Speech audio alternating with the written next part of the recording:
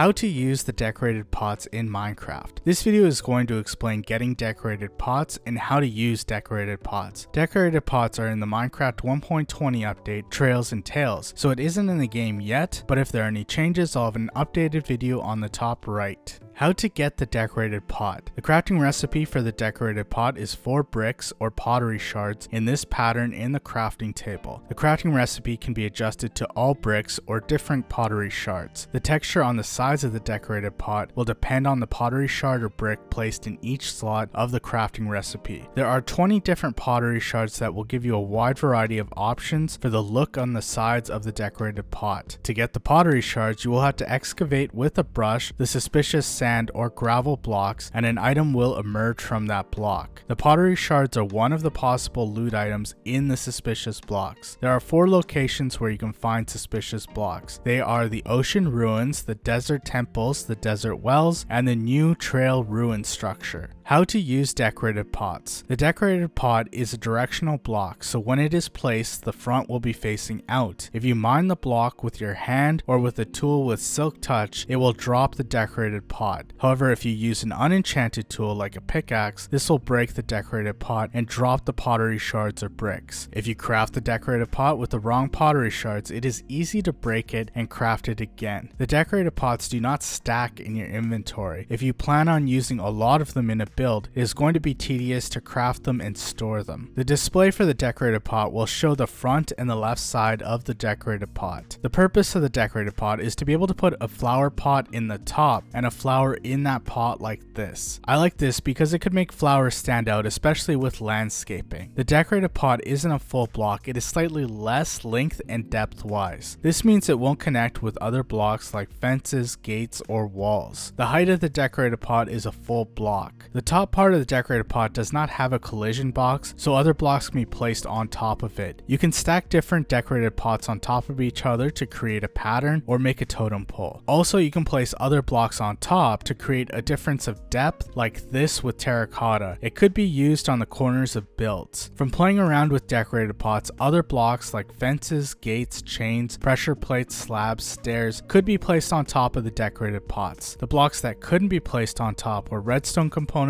or rails. I feel like the decorative pot is going to end up being used in a lot of different ways for building as it can be used with other blocks.